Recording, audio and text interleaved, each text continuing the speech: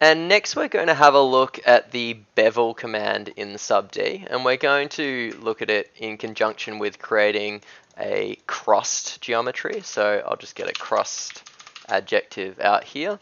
So as always, I'm going to start with a subd box, um, one by one by one in the X, Y, and Z count.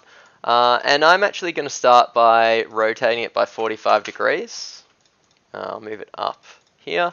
And just make sure you have your gumball set to align to object right now.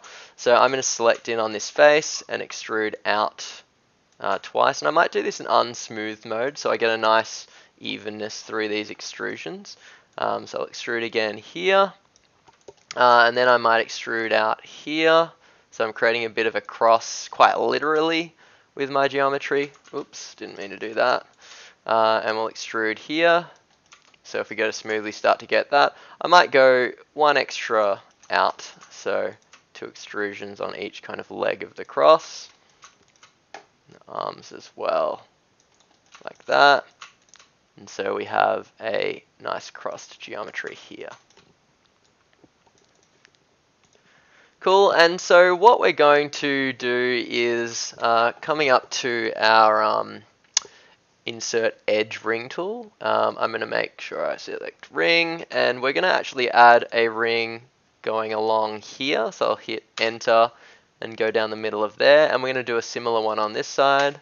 So edge loop ring like that just to add a little bit more detail and you'll see the cross starts to hold it form a little bit um, more easily.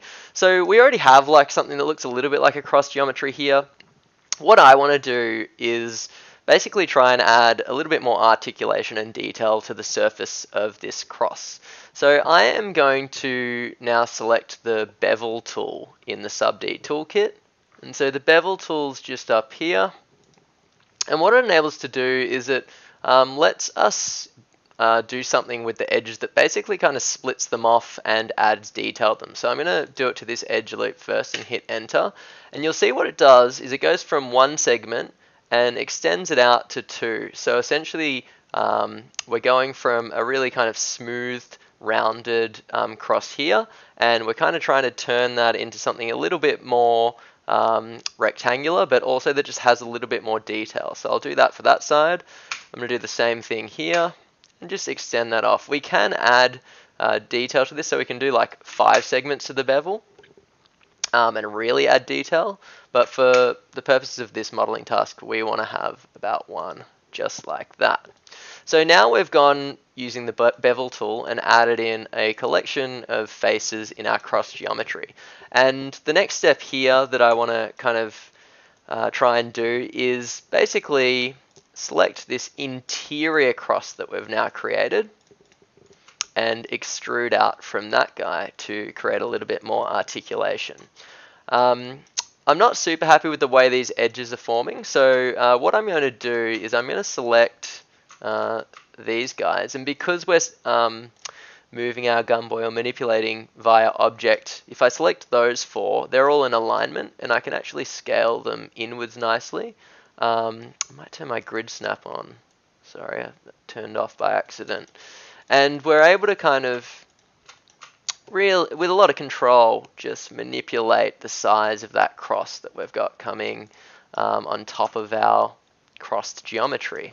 So I'll select these four now, move those guys in, these four as well, and move those guys in.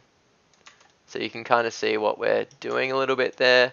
Maybe what we want to do is make it even more defined and um, potentially move these ones in. So we get like um, in the unsmooth version it's a bit truncated inwards but what it does is it just highlights that kind of joint that we've got there. So we can go and do that for this one as well. Move them in. This one here and this last one here, we can do the same thing. Move it in like that. So we get a little bit more articulation on our geometric face.